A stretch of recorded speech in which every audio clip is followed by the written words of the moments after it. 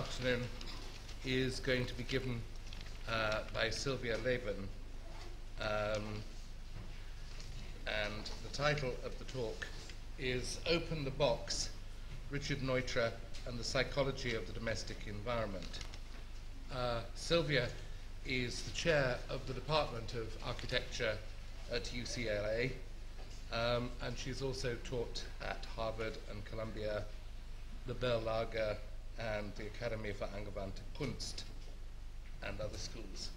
She's published very widely on contemporary and modern architecture, and her book, Richard Neutra and the Environment of Psychoanalysis, is itself going to be published next year uh, by MIT. She's also currently a fellow of the American Psychoanalytic Association. I'd like you to welcome, welcome Sylvia.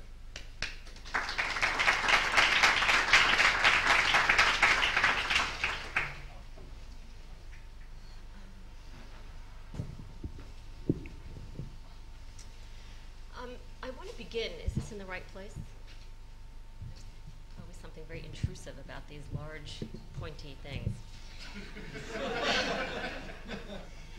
um, I wanted to begin by recalling a, a remark that Tony made yesterday um, in the question. So it might have been a, a kind of offhand remark, but um, I want to take it seriously for a moment.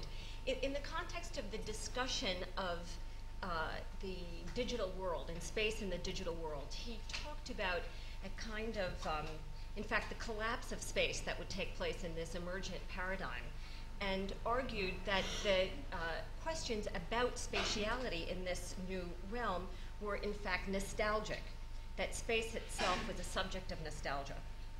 And um, I think that that's interesting in a variety of ways, and I think it may, in fact, be true that spatial conditions in the next uh, sort of digital regime may differ. But I, I, think that he also may have left uh, us all with a mistaken impression that space has actually been talked about a lot in modernist discourse. In fact, space is always talked around. Um, if you go back and read um, more or less anything, space produces a kind of anxiety and a kind of uh, closure of discourse. Um, there's lots of discussions about maps and coordinate systems and uh, various modes of representing space, but the kind of swirling uh, uh, um, energy of space itself is in fact the one thing that architectural discourse can never address, except perhaps in the context of horror vacui. That's a, that's a one long discussion. So while for architects, particularly in the modern period, they, they seem to claim a space as the, cent- as the central issue to their discipline. In fact, I think that claim is a, is a symptom that we need to pay some attention to because it seems to be a claim about a lack that can never really be addressed directly. And in fact, as these discourses, the primary effect of these discourses in, is, is, in effect, the deflation of space. And when you deflate space, you end up with um, the techniques of the architect, the plan, the section, the elevation, and so forth. And so I think that um, in some sense, what I want to try to do this afternoon is um, reinflate space uh, a little bit, um, which um, uh, I, I, think that actually um, Mark, at the beginning of this conference, uh, when he talked about the psychosexual development of space, um, for me that was a kind of act of inflation and new possibilities there started to be uh, generated. But what I'd like to do as a, as a maybe a point of continuation is to try to reintroduce into that process of, uh, of reinflation the problem of objective space. Um, and to try to see, because these are architects here, presumably some of you, and not all psychoanalysts, um, how one might reorganize the relationship between subjective and objective space one of the ways that I want to do that is to consider um, psychoanalysis, and this is my paper will be somewhat expository and didactic, and I hope you'll um, excuse that, but to consider it um, in rather more instrumental uh, terms and to try to think of it as a kind of technology of the spatial imagination. And in order to do that, I want to look um, at the moment of the historical implantation of psychoanalysis into architectural culture. The, the, implantation is not something that we're initiating now, but in fact has a history. And that when one starts to look at that, one runs into various um, things, and that's where I'm going to go. Um, let me just also preface this by saying that uh, when you start looking at this question of historical implantation, you start to run into a few crackpots. And um, rest assured, that's, uh, that's what we'll be talking about um, for the next few minutes. Um, so again, to sort of repeat this provocation, I think it's fair to say that uh, modernism, under which we might uh, subsume psychoanalysis and space, is under assault today, both from a too loving nostalgia and an overly hostile criticality. The nostalgic tend to embrace modernism in the suffocating constraints of a phenomenological regime, while the critical tend to trap modernism in the landmines set by a semiological regime. A conference concerned with psychoanalysis may, may well want to consider the etiologies of these aggressions, but I will only point to their limitations with respect to our consideration of space. Despite its many contributions, particularly with respect to perception, phenomenology never permitted space to escape its position as a Kantian a priori. While the swirling valences and atmospheric elusiveness of space itself has always seemed to evade the structuralness of semiology. In this sense, space is to architecture that which the cloud has been to representation in the schema put forth by Hubert Damisch.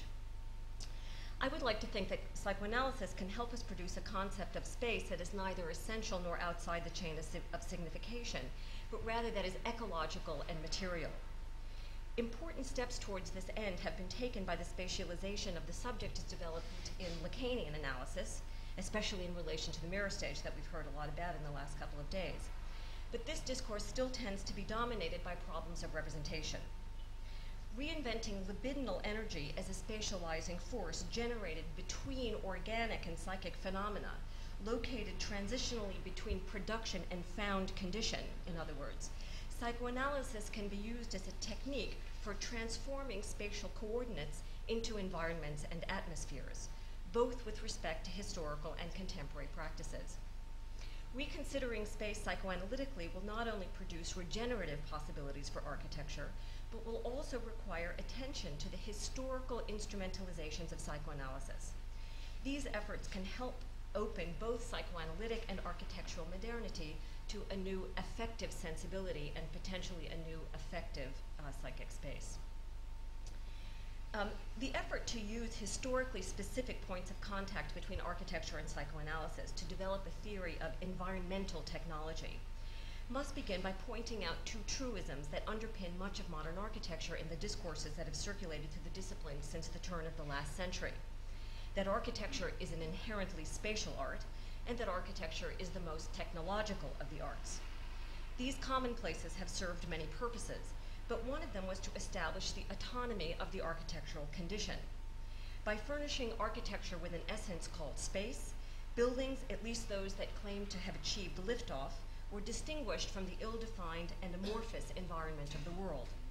Modern architectural technologies further supported this autonomy-seeking mission by concentrating their effects on moments of contact between architecture and not architecture, curtain walls that separate, mechanical systems that filter, and structural systems that lift.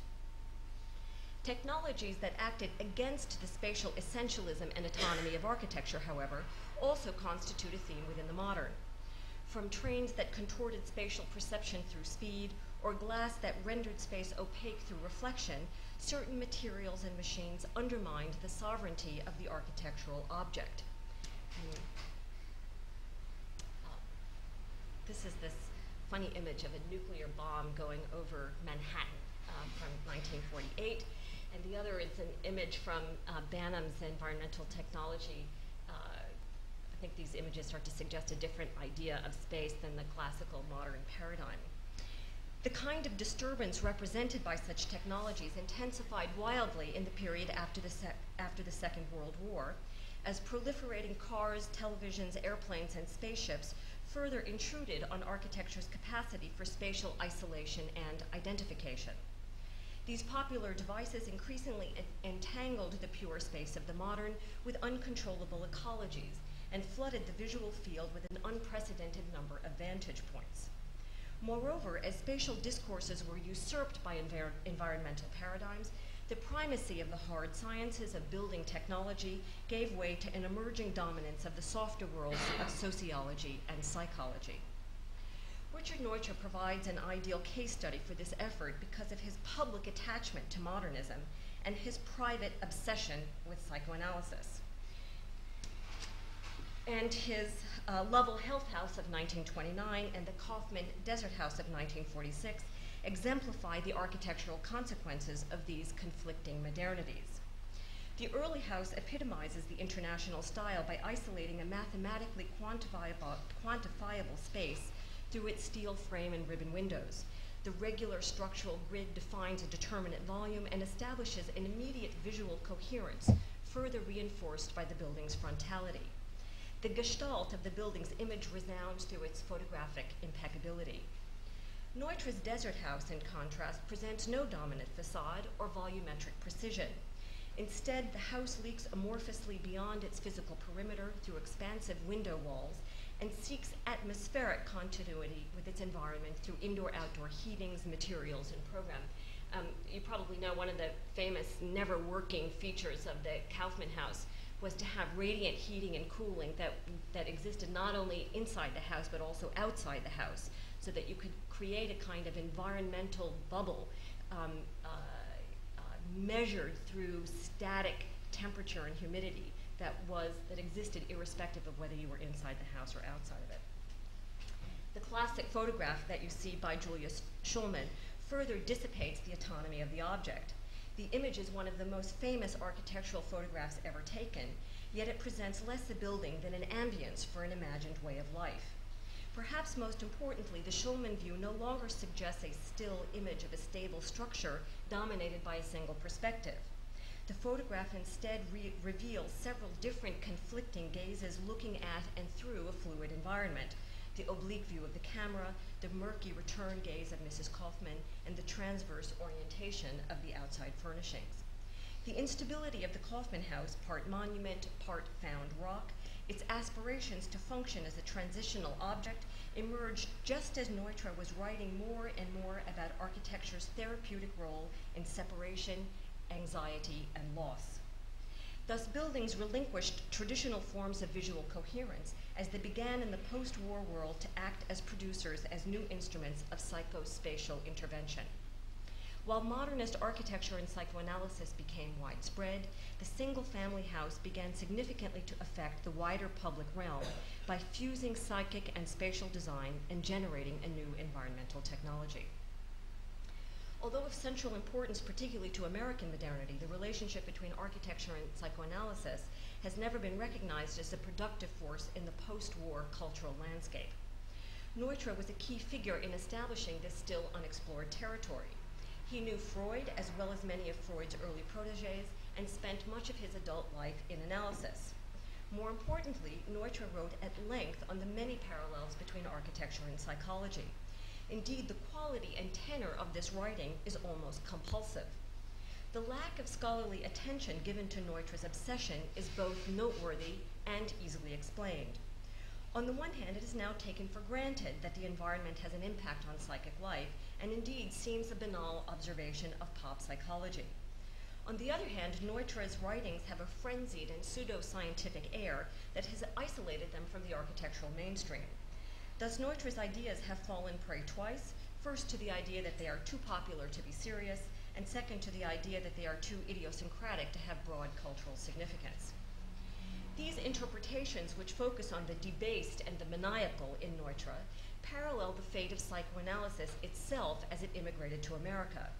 Freud considered Americanization, the Americanization of psychoanalysis to be synonymous with commercial degeneration, and his early followers who thought otherwise were frequently dismissed as insane. The obvious example is Otto Rank, who developed theories of short analysis, which Freud uh, interpreted directly as an impact of the economic engine behind American analysis. And, and Rank was another one of these people with whom Neutra was uh, fairly consistently obsessed. But perhaps the best known object of this kind of attack was Wilhelm Reich, uh, uh, who, like Neutra on your left, although in a much more extreme way, was both cultishly embraced and paranoiacally dismissed. In fact, their work circulated through the same cultural milieu. While it is likely that they met in Vienna, it is certain that clients of Neutra experimented with Reich's teachings and methods. Yet far more important than the concrete historical connections that link them, Reich and Neutra should be seen in relation to one another because they both developed new instruments to act psychoanalytically and materially on the environment. Indeed, their work shared a pronounced interest in the body, its habits and habitats, and both sought to transform human ecology through a process of technological and atmospheric materialization. Neutra's house designs of the 1950s can be used to explore this process since they demonstrate not only the impact on architecture of psychoanalytic ideas, but also the degree to which this impact with a material object subjected psychoanalysis to significant transformation. The circulation of these ideas and other cultural forces is particularly legible in the corners of Neutra's domestic architecture. By the teens, modernism, by the teens and 20s, modernism had begun to single out corners as didactic sites demonstrating the possibilities of the new architecture.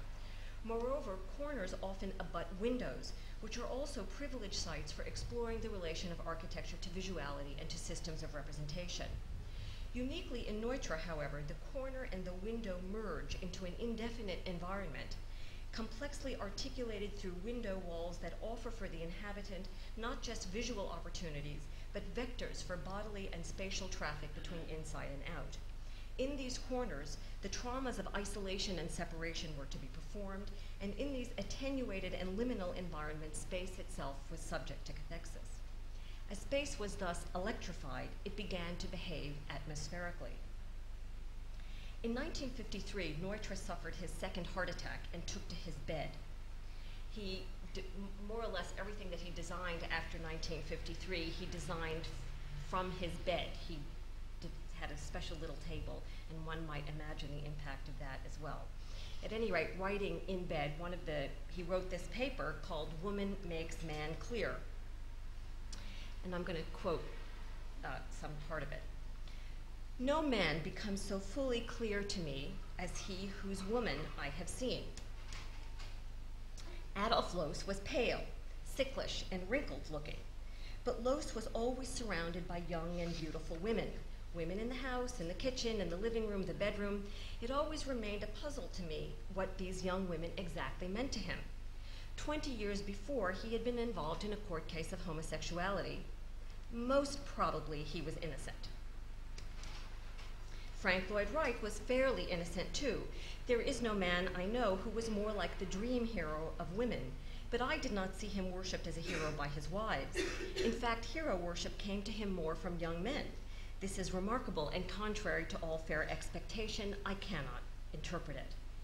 For Gropius, woman has played perhaps the smallest role, smaller even than to Le Corbusier, whose late married wife has been the simplest character and perhaps the best cook. Mies has aroused admiration in very intelligent, worthwhile women, but he goes his way hardly perturbed, I believe. For some, it is very hard to take. Eric Mendelsohn told me I must conquer my wife daily. This is my enjoyment. Ah, it's really kind of astonishing, isn't it? Um, as to femininity, Mendelsohn appeared more determined than any architect I have ever seen. Schindler had a uniquely sweet smile under his little mustache and always seemed to intimate a little erotic conspiracy without consequence but promising. Schindler would, would hire neatly built girls from the Academy Model Mart and draw them in the nude. And he accommodated them, giving willingly, or shall I say yieldingly, of his time at all hours. He would deeply look into eyes, prepare and serve coffee, make love, sit in cars through the small hours of the morning, or climb under the car and fix it for the lady. Uh, uh, I have no swollen head, whatever, no self flattering. Still, what ca- might characterize my own relationship to men and women? And if women are characteristic mirrors of a man's behavior, what may I have to suffer if this test is applied to myself, confidentially speaking, to this private paper with a pencil? In spite of being most informal, not leonine, not monumental at all, I grow to heroic dimensions, particularly to women.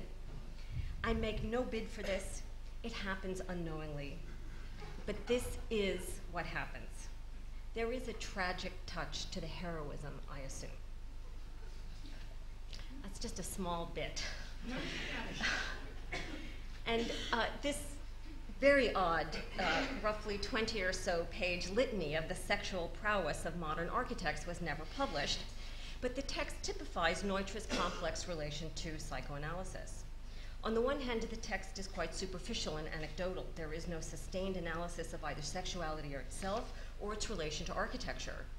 On the other hand, the relation between the sex drive and creativity through sublimation and so forth is clearly a basic precept of Freudian theory that Neutra deliberately related to spatial issues. When Neutra writes of Schindler that his, quote, creative drive in architecture was overwhelming, and, and he would work through nights in erotic solitude to evolve his his often most complicated variations on a space theme, end quote, the libidinal origin of spatial production is clearly implied. And moreover, when Neutra describes Irving Gill as a little troubadour of the American woman, married to a middle aged California cultist who was rarely in the wonderfully progressive kitchen uh, he dreamed up for her, chore free, flush, white, and clean, he situated this erotic dynamic in the domestic context. By the time Neutra was writing in the 1950s, in fact, American domestic architecture was deeply engaged in a socially pervasive psychosexual dynamic from which it has not fully recovered. Um, the, the image on the is just one of many ads that I could have showed you on the right, and on the left is a, a series um, of fashion shoots that were taken in Neutra's houses um, with smoking women and skirts pulled up over their knees and, uh, and so forth. So a great deal has been written about the transformation of the American house in relation to gender, changing gender roles. The focus of this important discourse has been the reprogramming and replanning of the domestic interior in relation to developments in women's work, both in the home and in the public sphere. Little attention, however, has been paid to the eroticization of domesticity during the post war period and to the new architectural effects it engendered. In the case of Neutra, the way domestic products were advertised in American culture at large reveals how sex had become a patent element of domestic satisfaction better than the way he addressed the plans of a particular house. He located uh, He located bedrooms in unremarkable places and provided them with conventional degrees of privacy, both from the public areas of the house and from children's rooms. I'm, I'm showing you this uh, photograph on the right in particular because I'm intrigued by the presence of the Gauguin there as a kind of sign uh, of what, the, what on some level the architecture is trying to talk about. Yet the spatial excitement of the glazed corners in Neutra's bedrooms recalls the erotic translucency of new products for the bed and bath and voyeuristic pleasures of picture windows as represented through photography and advertising. Much of the current fetishization of Neutra is in fact a longing for a sort of architectural Viagra. Um, this is uh, the Neutra houses now in Los Angeles are the subject of a major sort of chic revival, particularly for the Hollywood industry. And um, I spoke uh, some months ago with a realtor who basically specializes in this stuff and described a prospective buyer coming into uh, a Neutra house exclaiming that the house made her tingle. As the popularization of psychoanalysis foregrounded the demands of the id, sex not only sold new products, but also transformed what the public expected to receive from house and home. The smells of mom and apple pie were slowly replaced by images of vixens in the kitchen. Indeed, despite like the plexi dream suite on your right, which was more or less done at the same time as this image of psychoanalysis taking place on the battlefield in World War II. Indeed, despite the wary reception Freud received on his trip to the US in 1909, by the end of the Second World War, psychoanalysis had become an American success story. A burgeoning audience of analysands and a veritable army of new practitioners were transforming psychoanalysis into a mainstay of everyday life. American belief in happiness as a chicken in every pot and self improvement as a Puritan social responsibility began to merge with psychoanalytic notions of libidinal resolution. These developments came to define the house as a mirror not of society or of the family, but of the self. This newly structured subject would expect to receive and would in fact ultimately demand nothing short of psychosexual resolution from his domestic realm. Neutra put it succinctly, capturing both the complexity and the impossible banality of this development. A good house, he said, is the, and I quote, is the fulfillment of the search in space for happiness. The single family American home, long since the object of many cultural demands, was becoming a transference object in a new psychoanalytic process. The residential combinations of walls, windows, and doors was no longer merely a space to contain and regulate domestic relations, but was an environment which was to produce pleasure itself. While the growing influence of psychoanalysis was necess necessary to build up these expectations, a critique of Freud was equally necessary. The theory of drives, and here comes the didactic part for those of you who are not so familiar with, with this, was the primary conduit Freud had established between the body and the unconscious. But the drives were fundamentally part of the psychic rather than the physiological apparatus, particularly as Freud's work developed over time. Indeed, the radical nature of Freud's contribution derives precisely from the degree to which Freud moved away from neurology and lifted, in Starobinski's terms, lifted the unconscious out of organic life.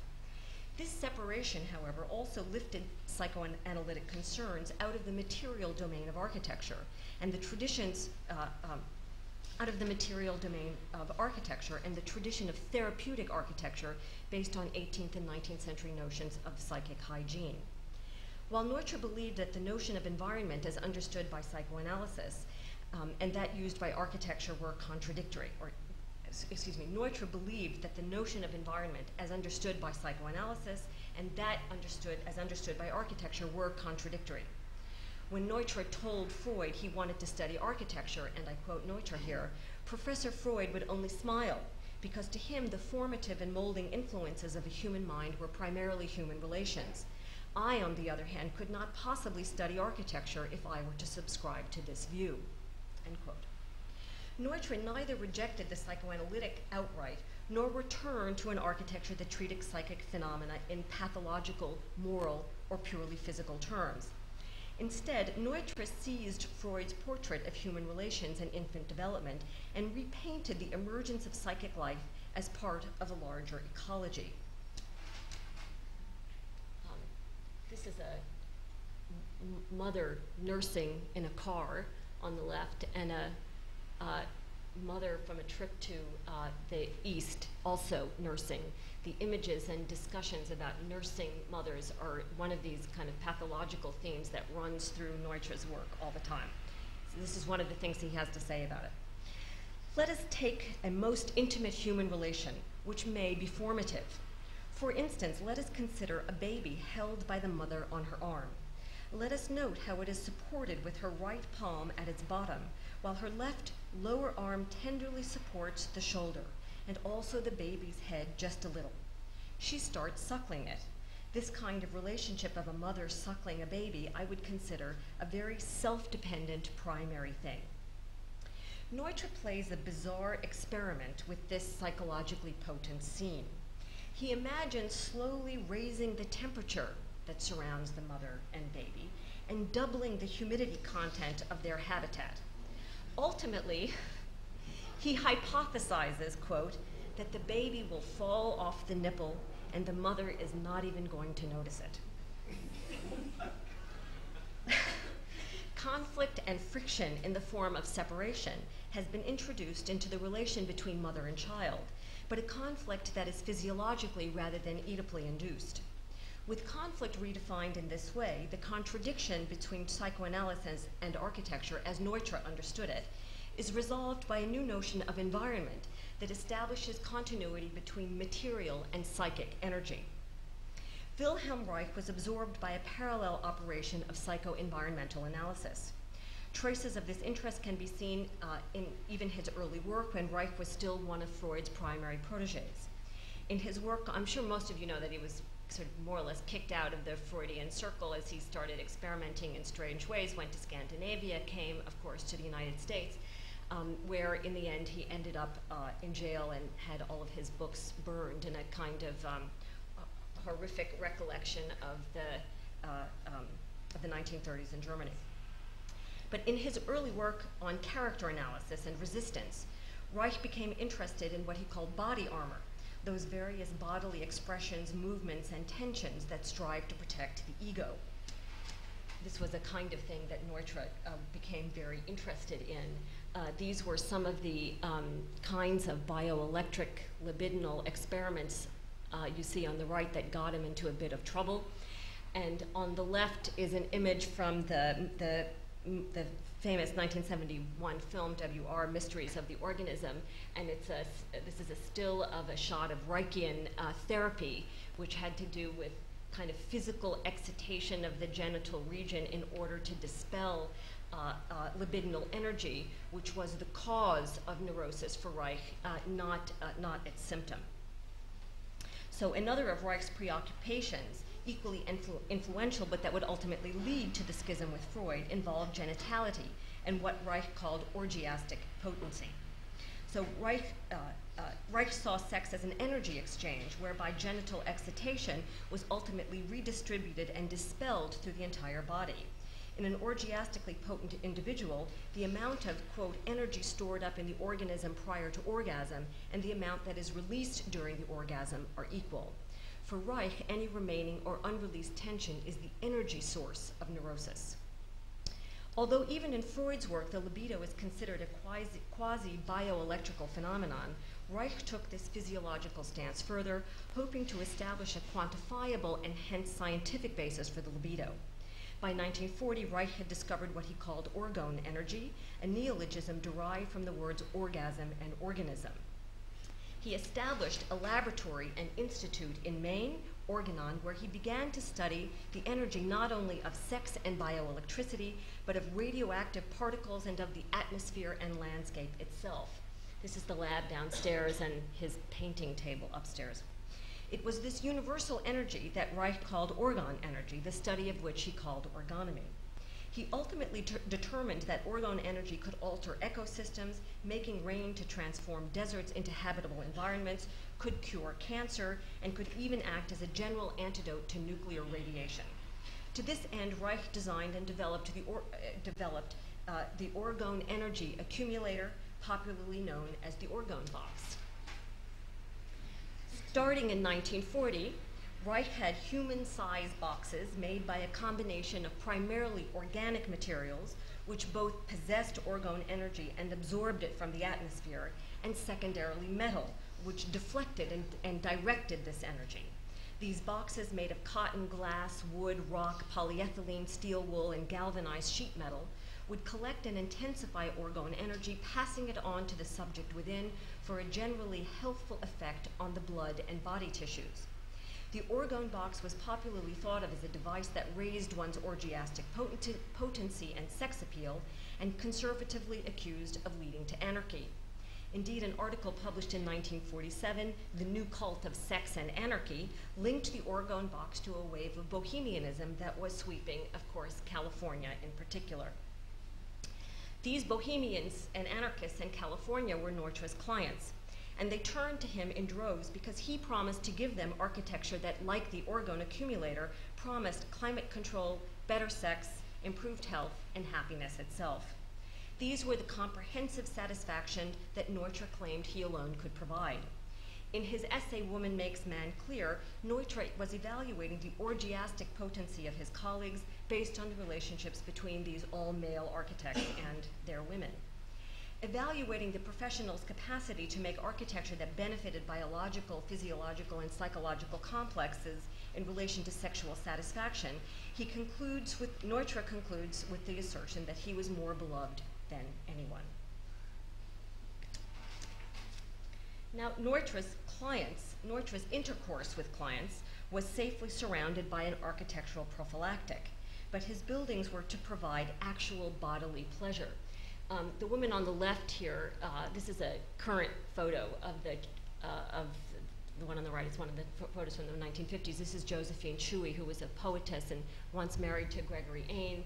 Um, she was part of, she was a, still is a Krishnamurti devotee.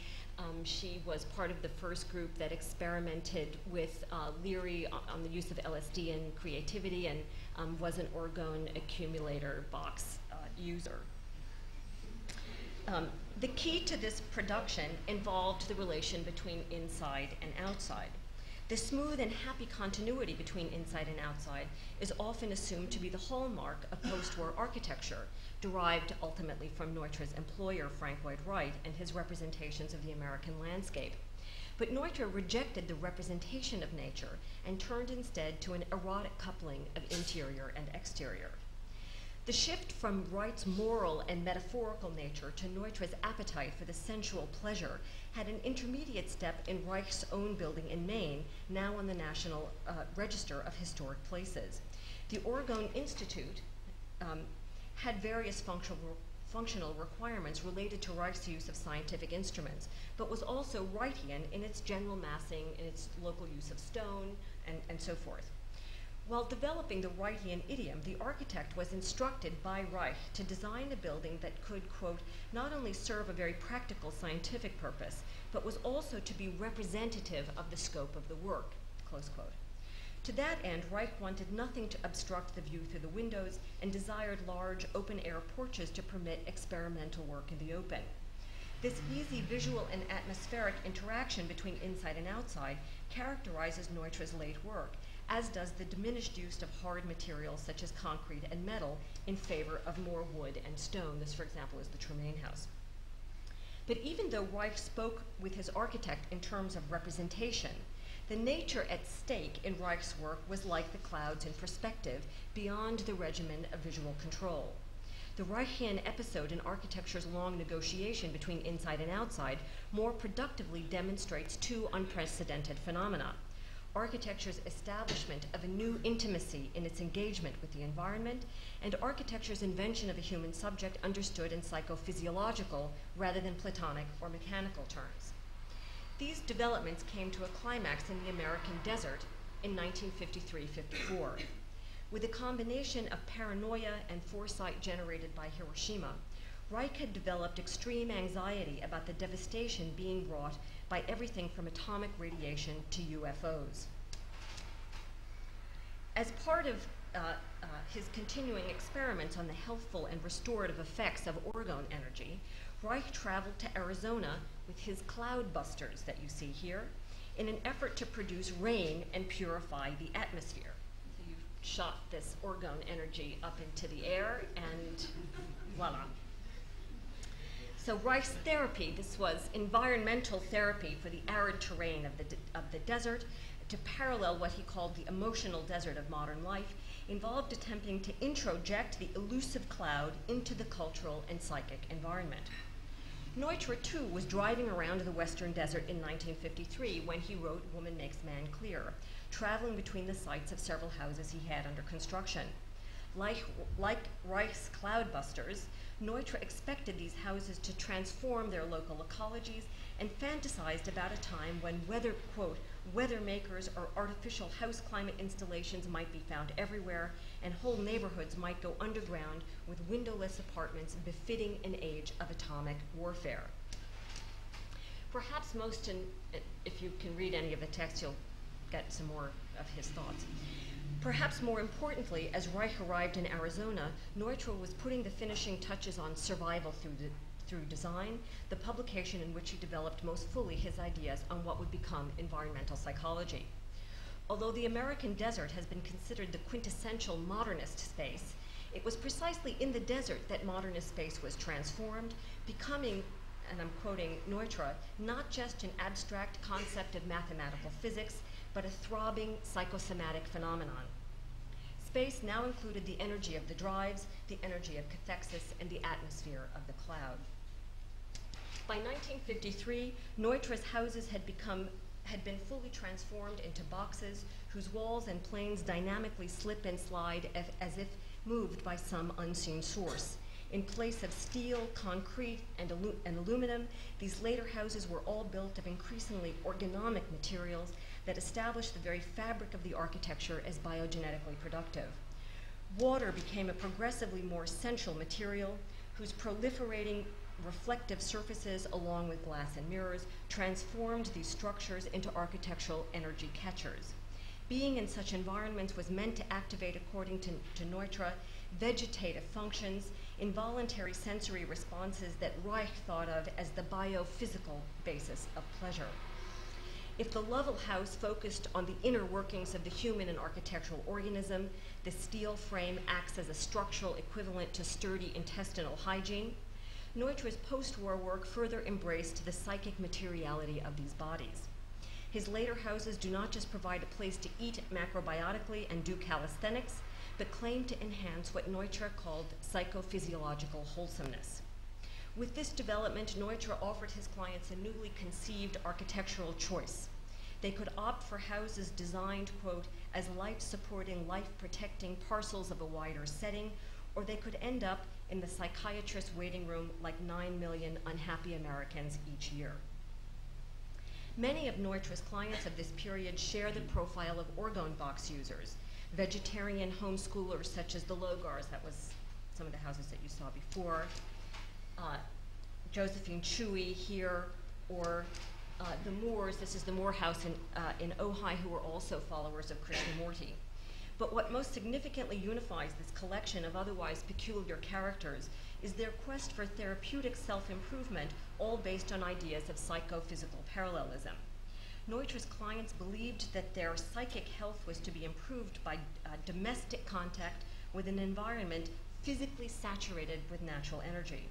The houses of this period might well have come with the following instructions about how much time one should spend in an orgone box. This is right. One should continue with the organotic irradiation as long as one feels comfortable and glowing. The sensitive person will, after a while, have had enough. This manifests itself in the feeling of nothing happening any longer. it is explained by the fact that in a truly self-regulatory manner, the organism will only absorb as much orgone energy as it requires, end quote. The houses, in other words, were meant to make you tingle. The architectural techniques Neutra deployed to saturate space with enough energy to explode it into an environment concentrated on the glass corners lo located significantly in the public rooms of most of his post-war houses. In these corners, two planes of floor-to-ceiling expanses of plate glass join in a mitered edge to produce a glazed environment of intense spatial ambiguity. Oscillation between opacity and transparency, interiority and exteriority, solidity and fluidity generates perceptual confusion. These psychic and visual effects of what Neutra called throbbing intensity are further multiplied by the accumulation in the corners of a series of architectural details. Spider legs, these rafters that continue off the edge of the house, and ceiling beams uh, to the exterior displace and confuse the location of structure. The use of glass represses the distinctions between walls, doors, and windows, combining visually as well as functionally these normally distinct architectural elements. Large exterior overhangs prohibit reflections from forming on the glass surfaces. At night, exterior lights maintain surface transparency and thus spatial continuity. Materials move without interruption from inside to outside and across both floors and ceilings. Even, even the photographs taken by Shulman, such as these, under the direction of Neutra, never frame views of the house, but rather look through the building with dynamic vision. Finally, mirrors placed strategically adjacent to windows multiply ad infinitum these elements of atmospheric ambiguity. High modernism had, since the earliest years of the century, fantasized about the transformative power of glass structures, but for the most part, the goal of architects had been to produce clarity and purity. And if visual complexity was produced or even sought after, spatial precision was always a precondition. For example, Le Corbusier described the need for what he called window walls, and despite his interest in their impact on visuality and structures of representation, he foresaw these elements as static structures sealing the interior into a quantifiable volume. Instead, Neutra's corners suggest an amorphous leak in the structure of the house, a topological billowing of a domestic membrane that creates a highly indeterminate and almost viscous environment. Neutra maintained that in these corners, pulsing with what Reich would call orgone energy, architectural physiognomy would interact with human physiology to, produce psychological satisfaction and pleasure. The space of architecture and the energy unleashed by psychoanalysis merged to form a technology of environment and atmosphere. The environmental technology that transformed the American house into an orgone box was meant to provide complete satisfaction, the kind that we all understand to be elusive. This utopian ambition reveals Neutra's commitment to classical modernism and explains why Freud, quote, condescendingly smiled when Neutra thought, when Neutra said he wanted to provide patients with therapy through, quote, environmental impact. And the same naivete probably helps explain why Neutra's residential architecture has become a popular part of the general neo-modernist wave that is washing over contemporary culture. Certainly, Neutra's staunch belief in progress and enlightenment makes him a reassuring figure, just as Prozac offers a stabilizing alternative to the uncertainties of psychoanalysis. However, the most celebrated feature of Neutra's architecture is precisely the corner where instabilities and uncertainties collect and where desires both psychic and organic are projected. Like clouds that escape the semiological and spatial regime of perspective, these corners produce effects of sensibility. Composed of both barriers and flow, they are environments where space is materialized and rendered atmospheric rather than represented. Neutra described dropping by the Nesbitt house in 1953 after it had a new set of owners and wondered why the window walls were shut. This is to suggest the impact, perhaps, of these corners. And I quote, I got up and unlocked a shot bolt at the bottom track of the large sliding glass front and made it glide aside. A multi-voiced shout of joy went to the treetops and beyond into the sky, perhaps to heaven. I hardly could believe it. This lady had lovingly lived in this house for a year and did not know that this glass front could slide wide open. It was like a magic, it was like magic to her a discovery of a new spring of life, like someone discovering, imagine that he can spread wings and fly. There was wild dancing on the lawn. I received a kiss, several kisses, and we all got drunk. Thank you.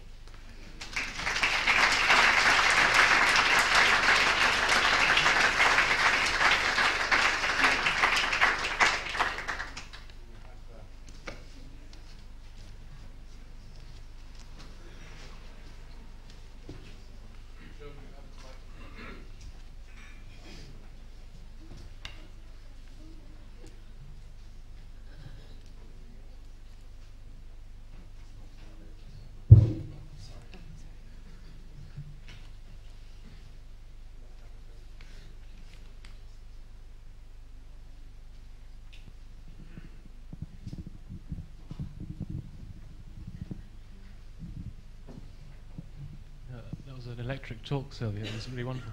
Um, just one comment and, and, and a question. Uh, I was reminded of uh, Woody Allen's Orgasmatron when you were talking about the orgone box. Um, but I think a, the, the, what, what your, your um, discourse suggested is maybe um, something probably very much needed in architecture. That is to try and sort of understand the notion of visual pleasure in architecture. And I wonder whether, whether you've ever thought of, of, of engaging or taking up what Laura Mulvey has sort of suggested as a sort of as a sort of a direction? I mean, how to, to understand that notion of visual pleasure? Um, well, I, I, certainly have done in other contexts, but um, I think that I'm trying slowly and perhaps poorly to work towards a way of dealing with some of these questions that really isn't so involved with representation. And um, uh, I think that um, her model of visual pleasure and and uh, scopophilia is very useful, but it, but it is really involved with problems in, in representation. And um, on some level, other people have done that work, and the, the, the work of uh, introducing her into architecture has been done, and to try to think um, some of these spatial conditions beyond the, the, the confines of representation, without, of course, returning to some essentializing paradigm um, is the kind of thing that I'm, I'm, I'm hoping to do, or in part to do.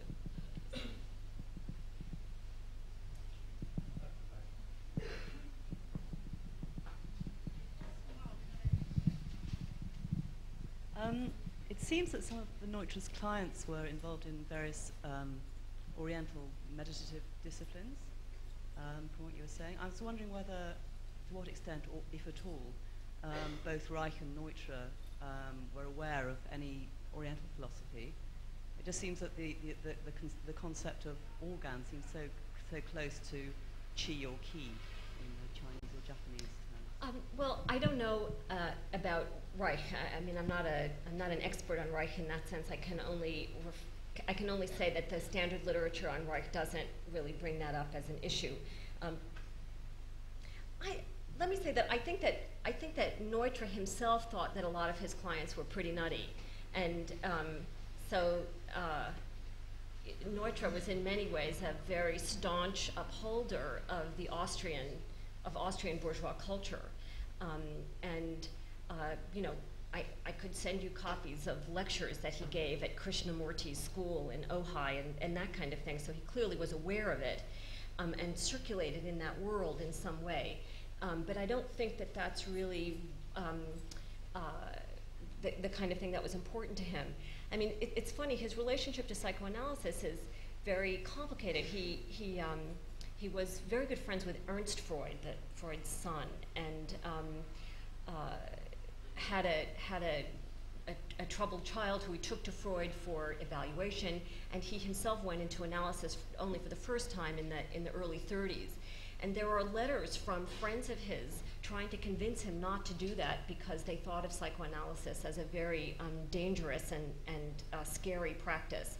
And it was funny to come across that to real, you know, to, to, to try to remember what, in terms of everyday life in the 1930s, psychoanalysis meant, meant particularly in, Ameri- in an American context. And of course, by after the war, psychoanalysis, as practiced in America and as believed in by Neutra, despite his reservations, had very little to do with Freud any, anymore. Um, but I certainly don't think that it turned into Chi or Ma or any, any of those things.